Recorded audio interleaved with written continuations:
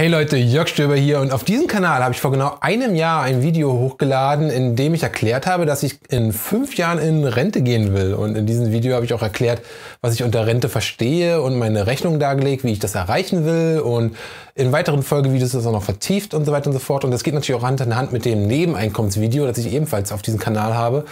Und ja, Jetzt ist ein Jahr vergangen seit meiner Ankündigung und wollen wir mal rekapitulieren, wie das Jahr nun so gelaufen ist und natürlich auch Futter für all diejenigen geben, die sowieso an mir zweifeln. Ja? Und mal schauen, wo ich stehe. Viel Spaß mit diesem Video.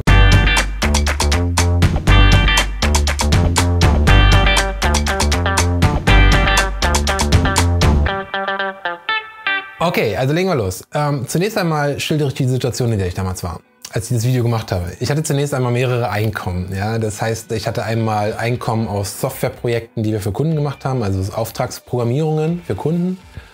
Und äh, ich hatte Einkommen aus Stockfotoverkäufen. Also ich biete ja online Bilder an und verkaufe diese.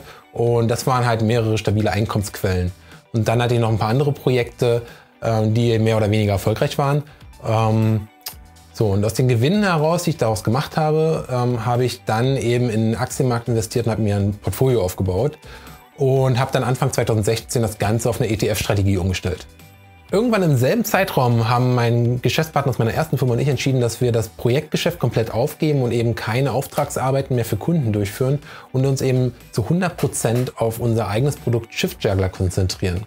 Das war eine gravierende Entscheidung, denn damit ging natürlich einher, dass unsere Einnahmen sanken und damit eben auch unser Einkommen. Ja? Und ähm, der Plan war eben, dass wir uns, wenn wir uns zu 100% auf ShiftJugger konzentrieren, dass dann eben das Produkt viel schneller vorankommt. Und wer ShiftJugger noch nicht kennt, ist eine Online-Anwendung für Dienstplanung, Zeiterfassung und Urlaubsmanagement.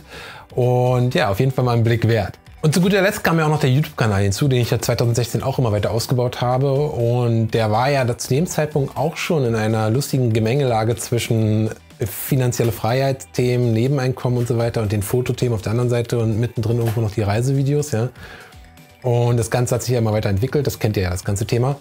Und den YouTube-Kanal hatte ich ja eigentlich gestartet, um mich in das Thema Videoproduktion einzuarbeiten, um das zu sehen, wie es geht, ähm, mein Wissen zu teilen, aber natürlich auch, ähm, um mir ein weiteres Standbein aufzubauen. Ja? Also meine Motivation war schon damit, irgendwie irgendwann mal Geld zu verdienen. Das ist schon klar. Also das war die Situation. Ich hatte mehrere Einkommen, ich hatte ein Aktienportfolio, das wächst und ich hatte einen YouTube-Kanal, der wuchs.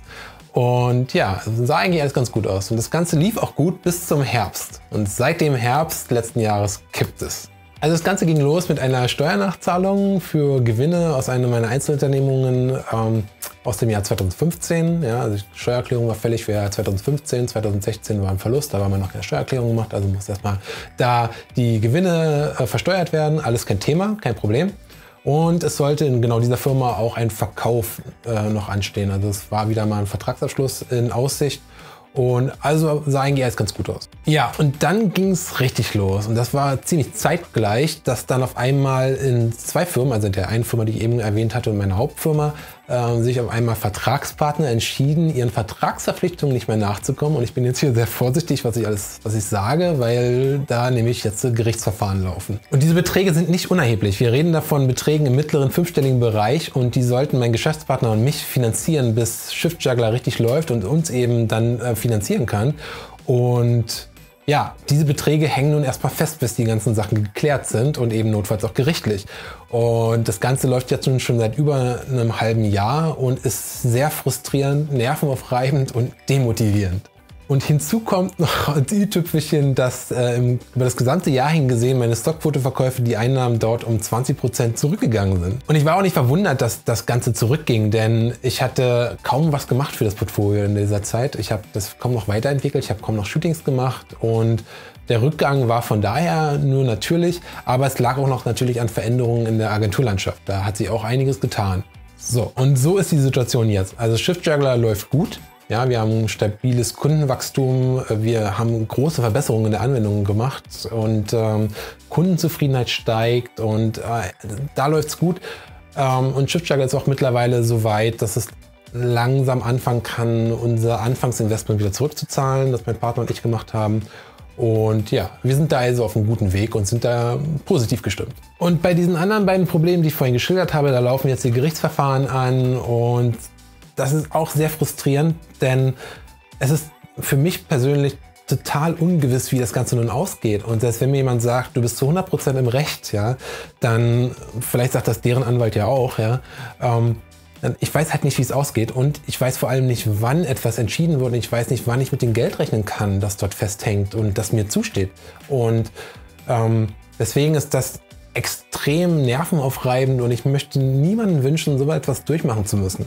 Mein YouTube-Kanal, wisst ihr, habe ich auch groß verändert. Ich habe den aufgesplittet in drei Kanäle und der neue Kanal läuft nicht so richtig an und ich habe aber trotzdem noch die Hoffnung, dass meine Veränderungen und meine Sichtweise, was, was jetzt falsch lief bisher beim YouTube-Kanal, dass das, dass das noch Früchte tragen wird und deswegen mache ich hier erstmal einfach so weiter wie geplant. Meine Stockfotoproduktion habe ich massiv ausgeweitet. Ich habe dieses Jahr, glaube ich, schon mehr produziert als letztes Jahr gesamt. Muss ich mal checken. Weiß ich nicht genau, ob das stimmt. Aber ähm, auf jeden Fall fühlt es sich sehr gut an, wieder mehr Bilder zu produzieren und damit eben den Einkommensrückgang zu bekämpfen.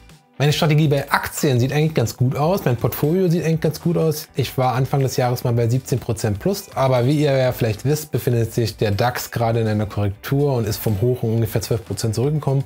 Und mein Portfolio ist aktuell bei ungefähr 8% im Plus. Also wie gesagt, sieht eigentlich ganz gut aus. Ich würde am liebsten noch mehr rein investieren in diese Korrektur. Ähm, aber dafür ist jetzt momentan kein Geld da. Aber das Portfolio sieht stabil aus und wird auch weiterhin nicht angetastet. Die Strategie, die bleibt. Wie sieht jetzt also die Zukunft aus?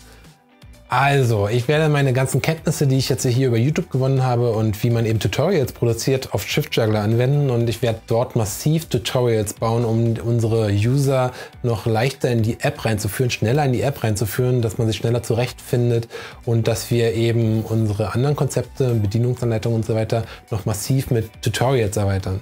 Hier kommt natürlich zugute, dass ich mich das ganze Jahr über mit Videoproduktion auseinandergesetzt habe und damit geht es jetzt relativ schnell, die ganzen Tutorials zu produzieren und das macht gerade ziemlich viel Spaß. Daneben muss ich natürlich auch noch die App an sich weiterentwickeln, Shift Juggler. Ich arbeite mich da gerade neue Technologien ein, um dann eben die Nutzererfahrung noch besser zu machen. Und ich setze auch sehr stark nachgefragte Features um.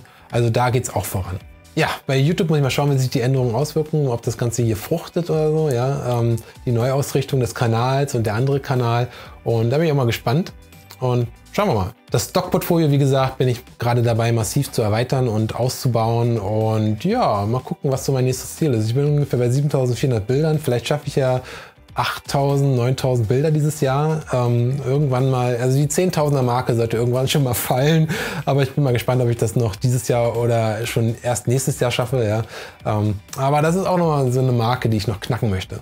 Ja, und diese Tutorial-Produktion bei ShiftJuggler, die haben mich noch weiter in den Wunsch bestärkt, vielleicht meinen eigenen Lehrgang zu machen, denn das Konzept irgendwie ein Thema mal zu, zu anzugehen und dann in einzelne Teile zu schneiden und daraus einen Lehrgang zu machen, das macht mir echt Spaß. Aber mal gucken, was sich da noch entwickeln lässt. Ich habe ein paar Ideen, die ich jetzt schon angegangen habe, aber mal schauen.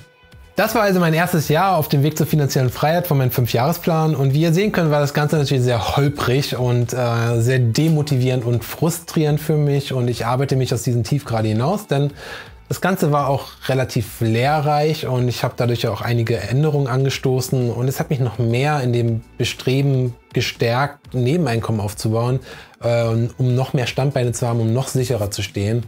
Und ja, das gehe ich jetzt an. Von daher, das Ziel ist weiterhin im Visier. Ich bleibe dabei, ich will in vier Jahren finanziell unabhängig sein und wenn ihr mich weiterhin auf diesem Weg begleiten wollt, ja, dann gebt mir noch einen Daumen hoch da und aktiviert diese kleine Glocke, damit ihr keine Videos mehr verpasst. Das ist anscheinend sehr wichtig geworden, dass man diese Glocke auch noch aktiviert, damit man tatsächlich benachrichtigt wird, dass es ein neues Video gibt. Ja, und wenn ihr neu hier seid, dann abonniert auf jeden Fall den Kanal, ja, um keine weiteren Videos mehr zu verpassen. Und ja, wir sehen uns im nächsten Video. Bye!